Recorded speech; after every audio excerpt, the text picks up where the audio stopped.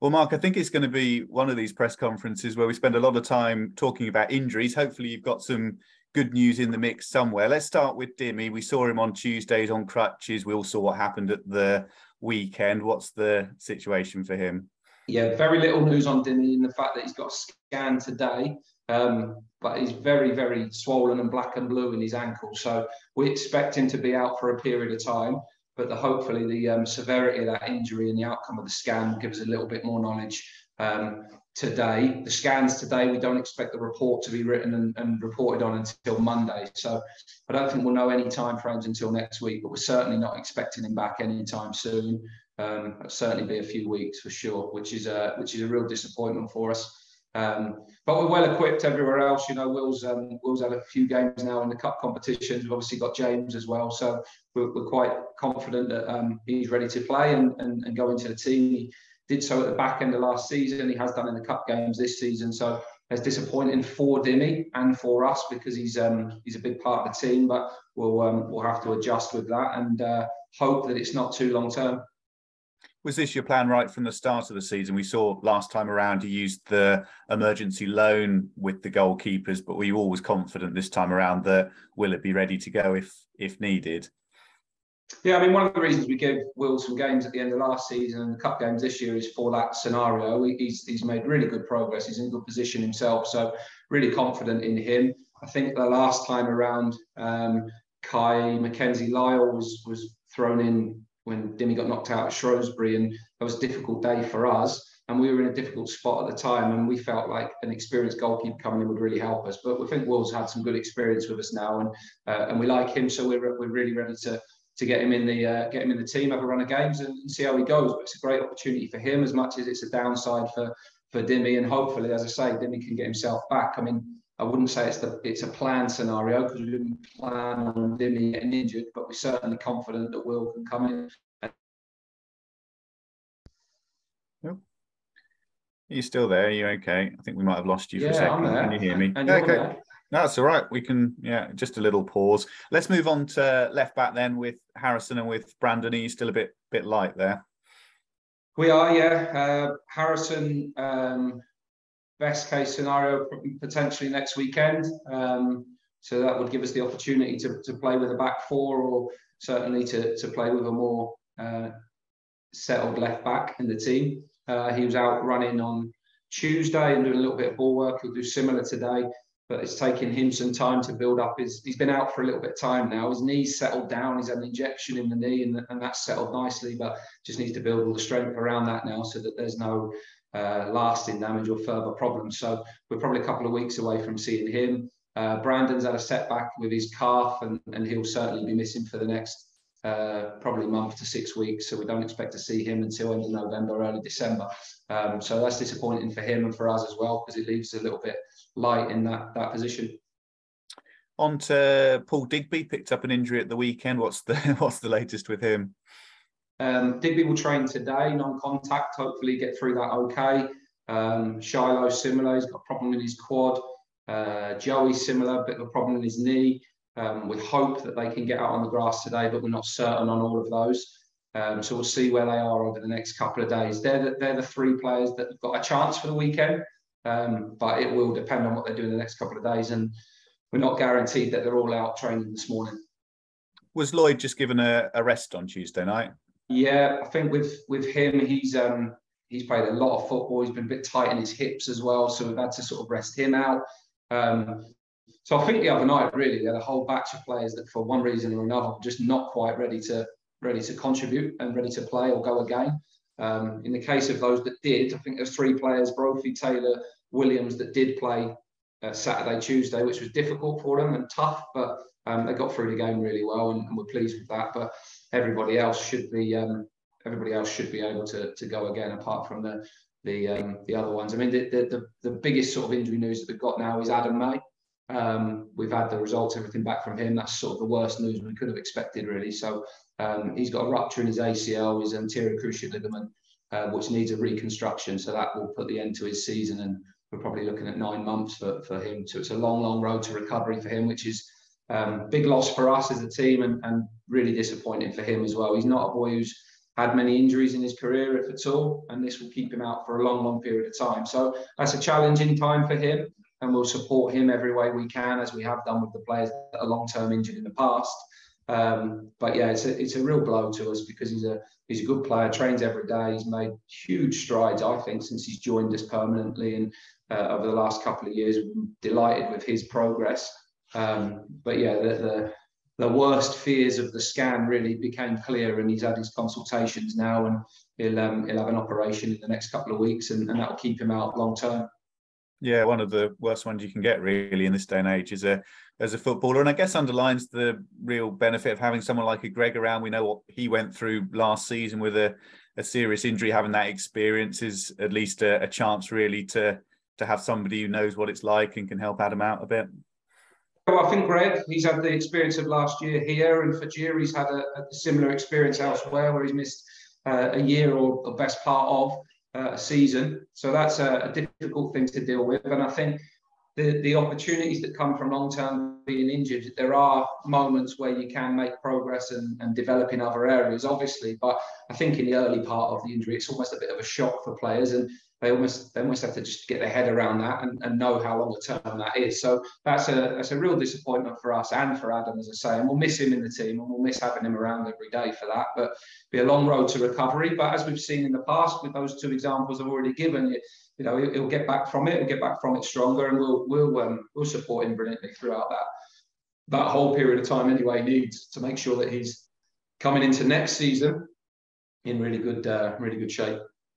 Yeah, and it all has the feel a little bit of it was Doncaster away last season where you had a, a problem with the goalies. You mentioned Dimmy getting injured at Shrewsbury and a number of injuries, and it, it came together really well, and and the team spirit was brilliant. I guess that's what you're looking for this weekend is for everyone to really pull together and and make the most of what is a difficult situation. Yeah, as normal. I think in in I mean that's a really good example because it, it just reminds you that this does happen in most seasons to, to every team. And you can't choose when you play certain teams and what moment they're in when you play them.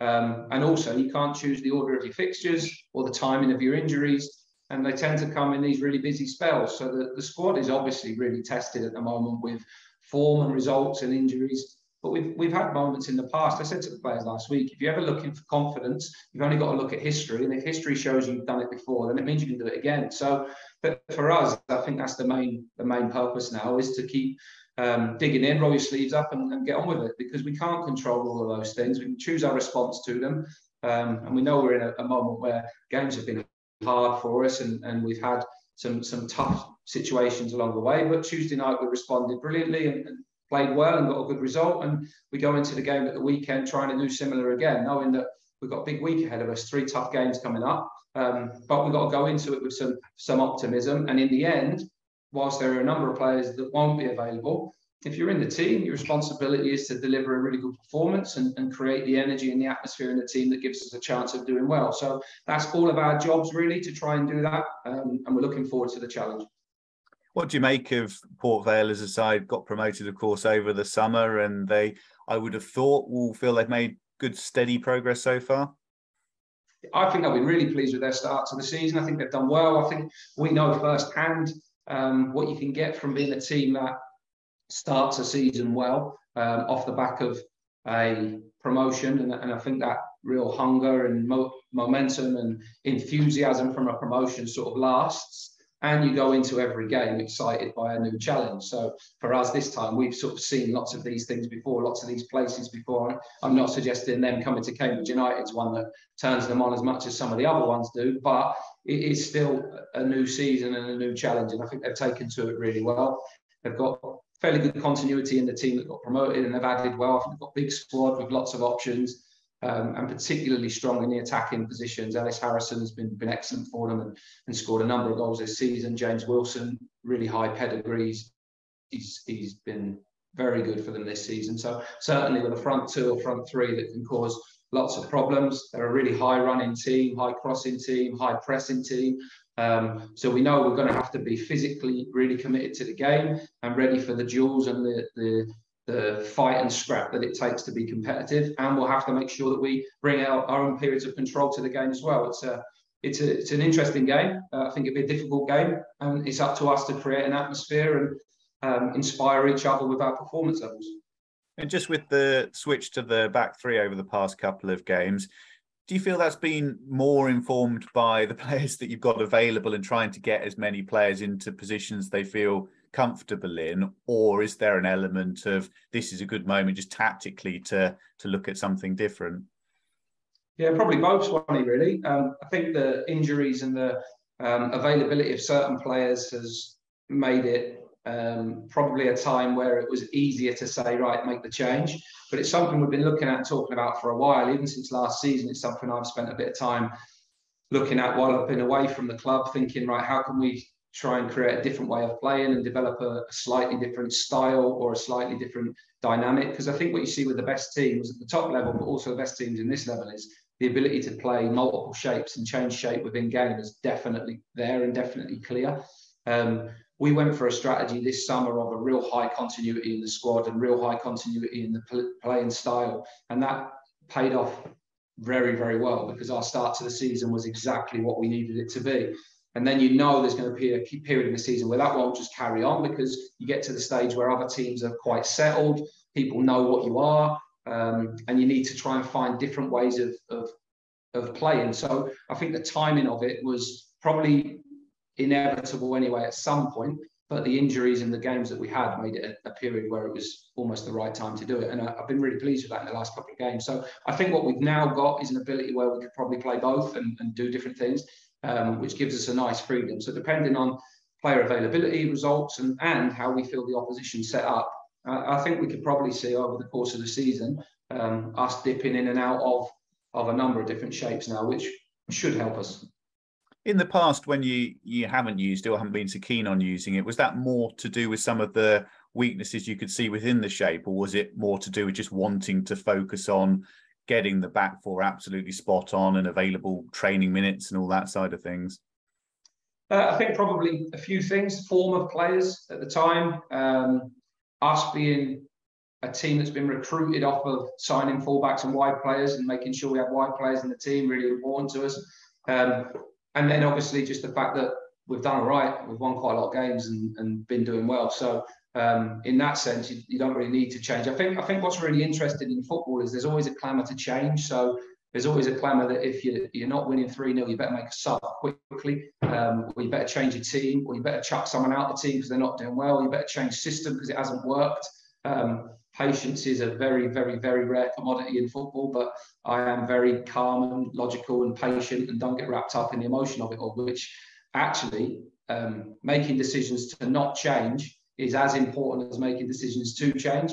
And over two and a half years, that's paid off pretty well for us. So um, I'm really confident actually that sometimes consistency and stability is as important as uh, sometimes change. You know, we're coming off an era where I think in 10 years that I'd been here before taking this job, 170 plus players have played in the first team for us. Um, that isn't sustainable. That isn't building connections and community and relationships, and it isn't building structure and stability in a team. So what we've done is, is, is go for something slightly different, and then we have to try and evolve that as we go forward into the next couple of years. That we've got a bit more variety in how we play and who we play with, and the style in which we can adopt. Um, and then that makes us a, a, more competitive and sustainable team at this level. So that's almost just the next stage of us, I think, developing. Um, and, and learning and development takes months rather than days. And, and that's just the reality. And um, quite often people want it done in hours. So um, yeah, it's a good job that I'm fairly calm and know that the process of learning and development and stability does play off. So I think we'll get there. Um, and it's quite an exciting period actually knowing that we're, we're trying something slightly different in the pressure moment of a season. I think that's um, something to quite enjoy the, the challenge of. Great, that's that's brilliant for me. Hi Mark, just um, on the formation point, how important is it to to have a three at the back option, given so many sides seem to play three at the back in the league as well? Well, I think it just answers I think having the ability to change and play different styles is is important, full stop, regardless of um, whether they have or haven't. I mean, actually, quite a few teams have changed from a three to a four this season. So um, and then teams have switched between the two. So uh, forget styles, formations, or things like that. I mean, the best team in our league, the Portsmouth, uh, uh, Ipswich. And if I asked you what system they played, no one could tell you because it's actually not about that. It's more about principles of play and and and spaces and things like that. And then the way you play a certain system can look completely different depending on who's playing it. So if you play with wing backs and they're wingers, it will look very different if you play with wing backs that are full backs. And uh, if you play with outside centre half that are centre backs versus being them full backs, it looks very different and so on. So I think there's lots of different ways of it looking, even with the same players. I think the key thing is that we try and develop some flexibility. I think over the certainly the promotion season and even at times last season, we always played a back four, but the front six would be quite fluid and would change its shape quite regularly. So the only difference we're, we're adding this time is we're being trying to get the ability to play with a three. But if you if you actually look and pause free frame the game at any time, sometimes it's back three, sometimes it's four, and sometimes it's five because the opposition numbers will sometimes dictate where you are on the pitch and the players playing in certain positions will as well. So I think just that flexibility of numbers and, and different ways of playing is just an important next stage for us to have variety in how we play. I think that's a, a, a next stage of our development, quite important. You've already mentioned that it's it's a big game this week, and just how important do you think it is to get back to winning ways in the league?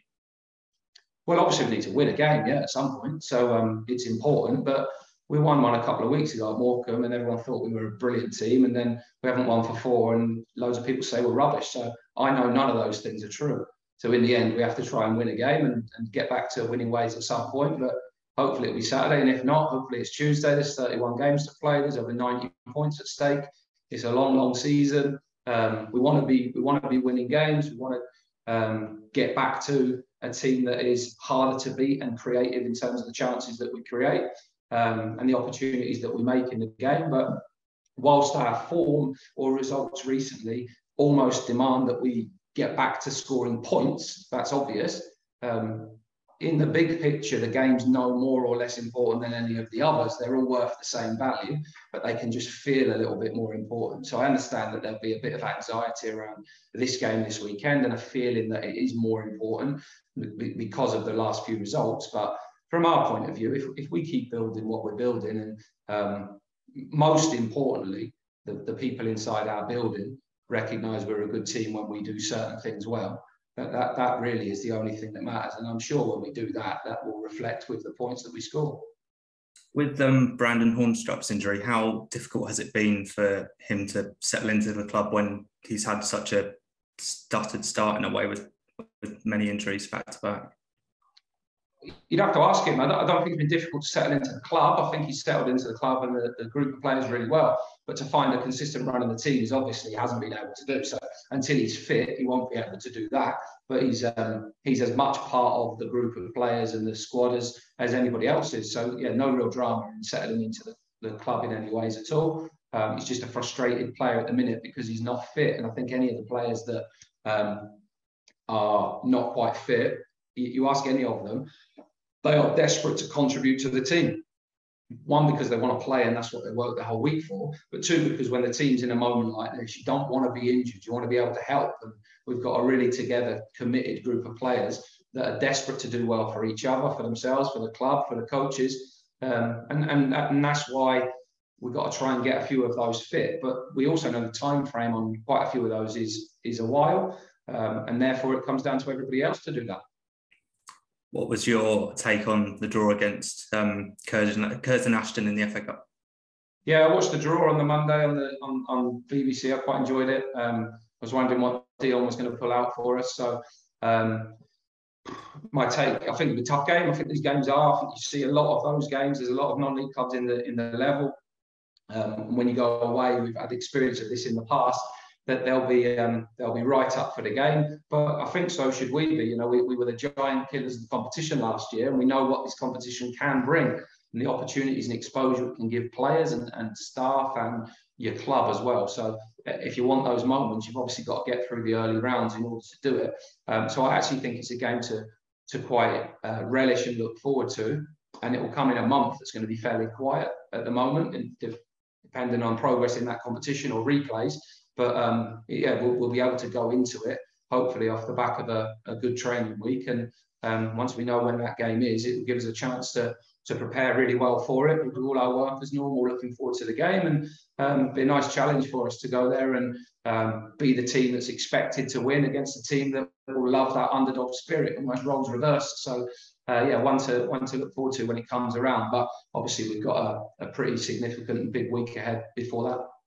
Just finally on Liam Bennett as well. How do, how do you see his um, his loan spell going at Walsall at the moment? It seems like he's getting a really good run in the team there yeah, to be honest, exactly as we hoped it would. Um, we hoped he could get to Christmas and play 20 odd games. So he's uh, got himself in the team. Obviously, scored last week. Uh, ben Strand's watched him. Dom Knighton's watched him. We've, we've watched a lot of video stuff. Gary and Barry stay in regular contact with him. So he's enjoying it. He's doing really well. He's getting a run in the team, which is perfect for him at this stage of his development. Um, to be playing that many games in that level, I think is, is really good for him. So we're really pleased with, with how that's going. And uh, yeah, look forward to sort of monitoring that progress over the next few months. Would you consider recalling him in January, or do you think it would be best for him to spend the season there? January's a long way off, mate. So we'll um, we'll deal with that one in January. As at the minute, I think our uh, he, he's doing everything he needs to do, which is focusing on being a good player for Walsall. And, and for us, that, that's exactly what we want him to do. So when January comes around, we'll have a plan for that, but we'll, uh, we'll deal with that one when it comes. That's great. Thank you